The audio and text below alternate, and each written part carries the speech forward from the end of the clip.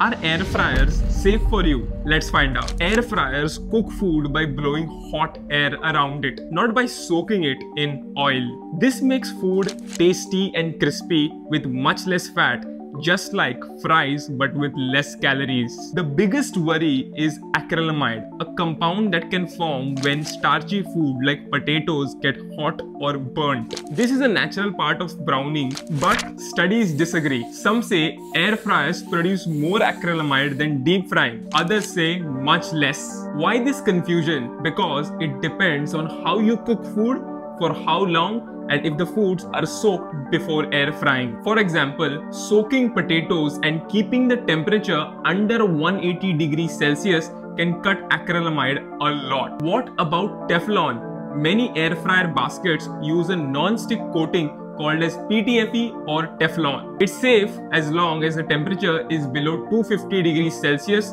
and do not scratch or damage the coating. Scratched baskets or overheating can release harmful particles. In short, don't overcook or burn food. Keep starches under 180 degrees Celsius. Avoid scrubbing the baskets too hard. If possible, choose ceramic or stainless steel baskets. Air fryers are safe and healthier when used right. They cut oil, make food crispy, and do not add health risks. The real danger isn't air fryer, it's how you use it. Follow for more science-backed kitchen tips everyone can use.